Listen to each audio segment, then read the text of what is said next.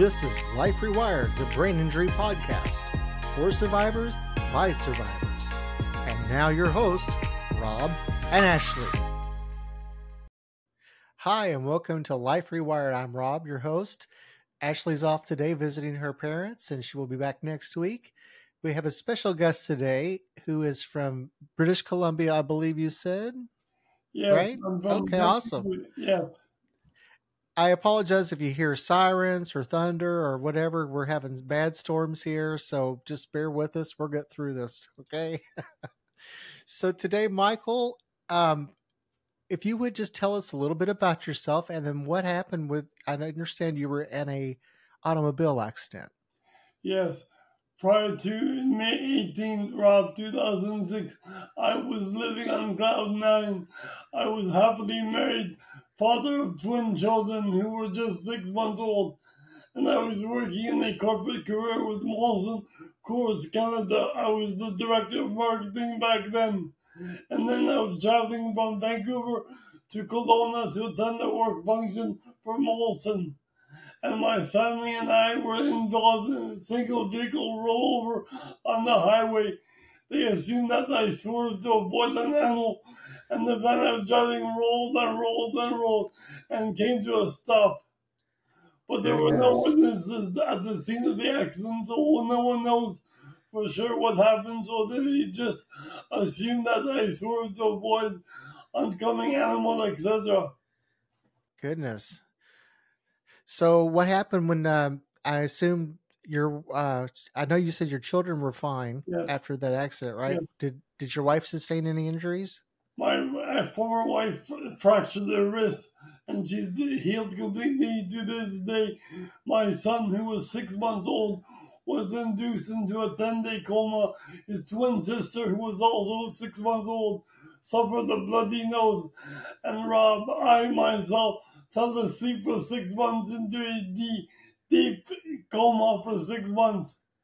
Goodness, that had to be so um, confusing when you wake up from a coma after that amount of time. What was that like when you woke up? Did you Well, have any uh, knowledge that you'd been out for so long, or was it just like you just went to sleep and woke right back up? Well, Rob, I'll tell you this. As you know, the brain does not remember. It wants to protect the individual. So I don't remember the scene of the accident at all. The only time I really remember is when I was waking up when I was going into the hyperbaric oxygen chamber for treatment. And basically, I remember my life from that point to this point, the last 18 years. My memory is intact with my life before my injury, my years hmm. growing up in Quebec City playing sports, high school, etc. But what I don't remember, of course, was the accident or the day before that at all. But I remember my children being born, which you were born six months before my accident. I remember my wedding in Mexico in the year 2000. But of course, I don't remember nothing prior to the accident or the accident itself, nor do I remember around my time in the hospital at all when I was waking up from my coma, etc. Goodness. Now, I know you said the doctors were telling you that you'd never walk again, you'd never be able to feed yourself. I mean, doesn't it feel great to prove doctors wrong? It feel it's amazing. My mom and dad, who re- relocated to Vancouver the day after my accident, were told that I would never speak, eat, or walk ever again. They said, "What we recommend you to Bob and Susie is to place your son in a long-term care home for the balance of his days, because he'll never be able to be independent enough nor progressive enough to be able to walk and talk and do the things that you hear me mention now, etc. Wow, you No. you were just an awesome person, Michael. Well, well, thank you very much. It, like I said, um, two things to the equation. It takes drive. The individual has to have drive, has to want to continue to make progress, has to have purpose. But number two, you need support, a great team of people around you. My father, who relocated here from Quebec City, is the one who did research on the internet and discovered that HBOT or hyperbaric oxygen has helped me awaken from my coma of six months.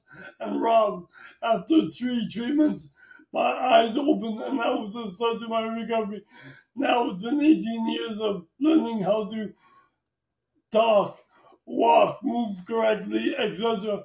All the simple things in life. Now I'm able to go to Starbucks, Tim Hortons for a cup of coffee. Now I'm able to enjoy my activities and my children are in school playing basketball, working, etc.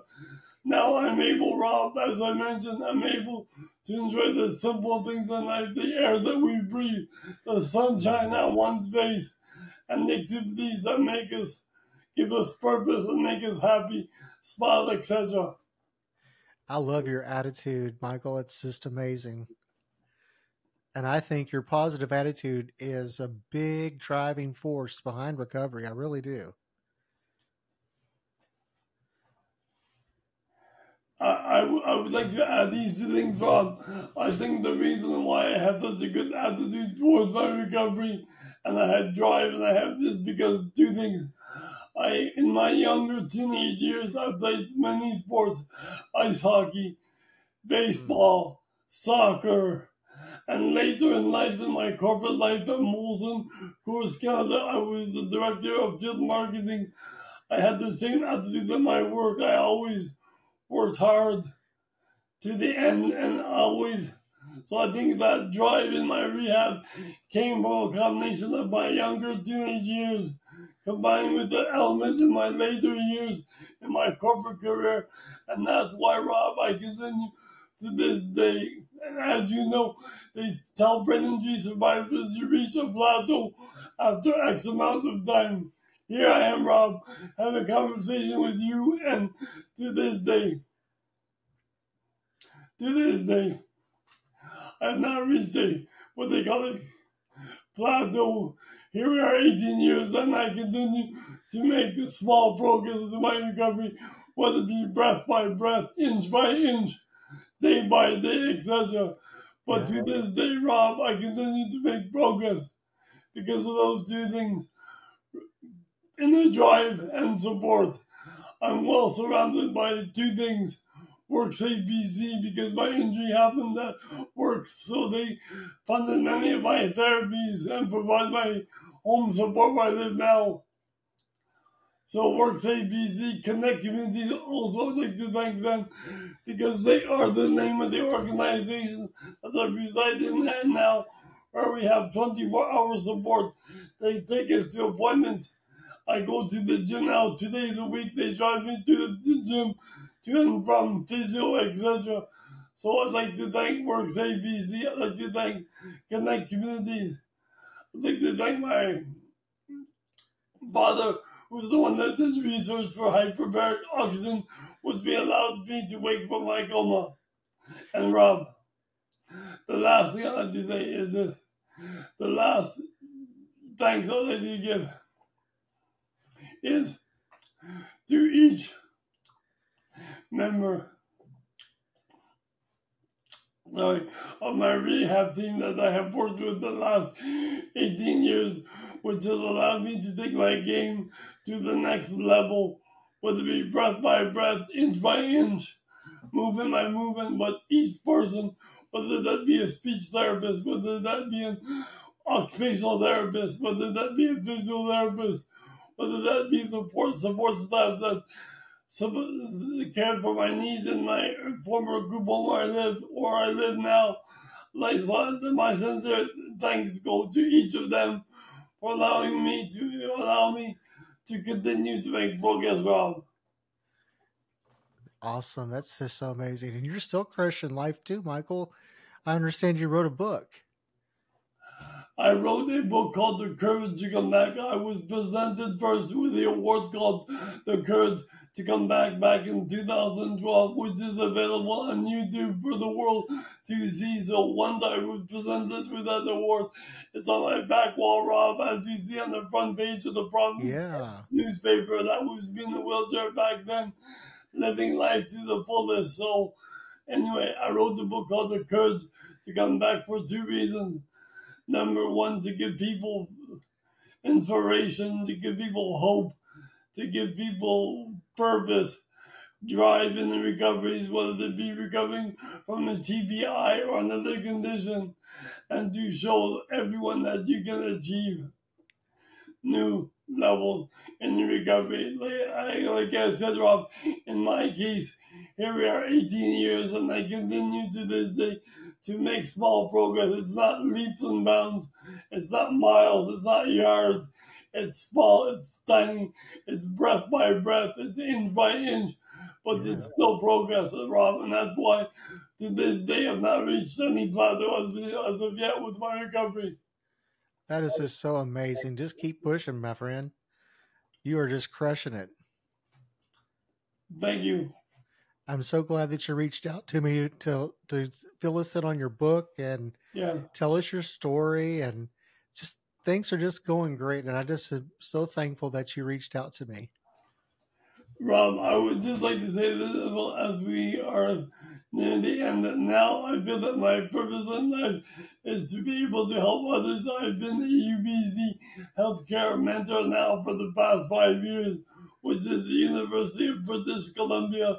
So my role is to help these students who are going to be future healthcare professionals and share my journey with them of how I've gone from here to there with the support of their profession, etc. So Rob, now I speak in schools, I volunteer my time, not paid, to be able to share my story, to give people hope, inspiration, etc. So Rob, I am committed to now giving back in the next journey of my recovery in terms of inspiring, providing hope, etc. So anyway, I'm not I'm only at the tip of the iceberg and I'm only at the beginning of where I want to be able to be able to fully get back. But anyway, this is my mindset now. Now that my coverage has gone so well, now it's my turn to give back to others. And you're going to achieve that too, my friend. I, I know that you're going to. You have the inspiration and you have the drive, and I can see the passion in your heart. Thank, so, thank you very much. Thank you. Oh, you're very welcome. Don't ever lose that passion. That is what keeps us all going. Yeah, you're right. You're right. Yeah. So if they want to purchase your book, can you uh, where can that be purchased at Amazon or anywhere right books are sold? It's available at Amazon.ca. Yes, and my book is called The Courage to Come Back. And anyway, I will maybe message you later with the cover of my book, words available, etc. And if any of your audience want to read my book, yeah. Anyway, it's available there. So, so Michael will send that information to me, and it will be at the bottom of this YouTube channel. Just look in the description; you'll have a link that will take you directly to um, his, any information that he has. Do you have a website, Michael, or is it just um, your YouTube channel? Oh, you know what, Rob? I will send you a bunch of things. My bio, newspaper articles that were written about my story accident, and I'll leave it up to you, like what you want to display to your audience and share with them. So I will send you a bunch of stuff with my material, my story, and I'll let you go through it, and you pick the material that you feel be most beneficial to your audience or. Awesome. Yes. I'll make sure that they all are able to get to anything that you have available. So, Rob, I just want to apologize one last thing because of my TBI that I had 18 years ago. I apologize for Rob for not being in a suit and tie for this formal interview because in my former life at Molson as the director of marketing, I was used to being in a shirt and tie almost daily.